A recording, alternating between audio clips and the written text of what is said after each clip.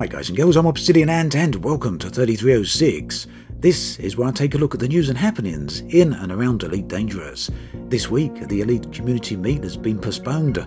Frontier implement a studio-wide work from home policy, and there's a rather interesting, amazingly realistic immersion mod.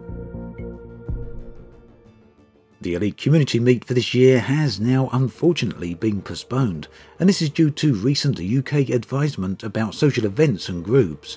Now this really is a huge shame as the event was set to be the biggest ECM so far with a load of activities planned, not to mention Frontier being in attendance. However, the change of plans is completely understandable and without a doubt the correct thing to be doing.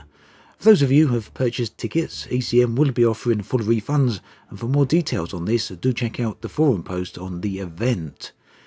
Now, the people behind ECM are certainly never ones to give up, and with that in mind, they are pressing ahead with a virtual event. The ECM will aim to bring together the community in a similar manner to the physical event, but this time in virtual space. Online meetups and socialising, a lot of shared gaming, and there will also be a live Artemis Bridge Crew event using the special rig that has been built for the show. Uh, players will also be invited to join the crew for this. In addition to TeamSpeak rooms, there will also be a dedicated Oculus home meetup for those with the ability to join that. Also, a special raffle had been arranged for ECM, and this will still be taking place. So it certainly sounds like it will be a lot of fun and more details on how this uh, virtual event will be taking place along with how to get involved will be published very soon so do keep an eye out for all of that. Now on a related subject and again following UK government advice on working from home where possible, Frontier today announced that the studio have implemented a work from home policy across the entire studio. Their forum post, which you can find linked below, details that they will continue to support their uh, games, including all online functionality. The community team, as well as the customer support, will also continue to be available. They also clarify that for now they don't anticipate any major changes to their plans for any of their current titles. However, they have stated they will keep us up to date should these things change. So, all the best to everyone. I really do hope you're all taking care of yourself at very, very important times. This week, Frontier are asking players to submit their Holo-Me avatars for inclusion in a surprise video. The recent forum thread asks for players to send in their entry with a screenshot as follows. You can see it detailed on the screen right here. And whilst they've said they won't be able to include everyone, the idea here is for these avatars to somehow be featured in the video.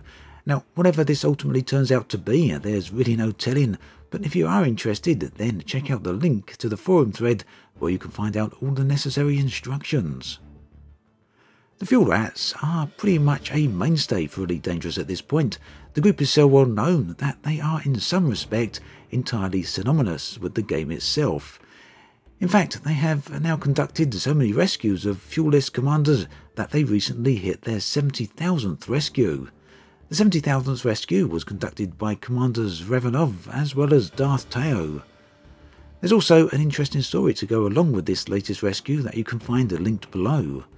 The Fuel Rats continue to rescue players all across the galaxy, and no distance is too great. If you ever find yourself lost in deep space and out of fuel, then the Fuel Rats are certainly willing to help you out. So, my congrats to the Fuel Rats then for so many rescues, and here's to another 70,000 the amazingly realistic immersion mod. Now this is something that was released back in January and it's something I've actually been meaning to mention for weeks now over here on these 3306 videos so apologise for the delays here. But what this actually is, it's a small utility that will allow you to modify uh, basically how Elite Dangerous works. Now the author is pretty clear that this doesn't appear to uh, interfere or break Frontier's EULA and judging by the fact that the forum thread is still available, then it certainly is likely that it's fine.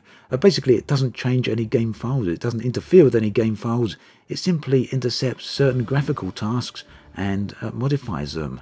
So such features that this will allow you to use are full black space, so you'll be able to get rid of the interstellar dust clouds and just have space look absolutely black with uh, nice, nice stars. Unfortunately, it does remove some of the distant galaxies as well as a distant nebula, but other than that, it will give you pure black space if that's something that you're actually after. Uh, following on from that, there's a toggle for black shadows, which will remove uh, some of the additional lighting in space, making shadows far darker than they currently are. Some other options include no external HUD elements, the ability to turn off cockpit lights, a cleaner HUD, space snow removed. Uh, snow in space, of course, is that space dust that you get as you're flying around. Now, personally, that's something I would really love to remove, uh, so it's a great feature to have. Um, cockpit smoke can also be removed, as well as fog from rings. Uh, again, these are optional. So if this is something that you would like to check out, do have a look in the video description. You'll find a link there to a forum thread which gives you all the instructions that you actually need to do this. Now, if on the other hand you're not too keen to try this out for yourself initially, then I will be releasing a video on this before much longer where I will walk you through how to activate it, how to use it, as well as uh, display basically how each feature actually works, so do keep an eye out for that. That then brings us to the end of this episode of 3306. As always, thanks for watching, and I'll catch you guys and girls next time.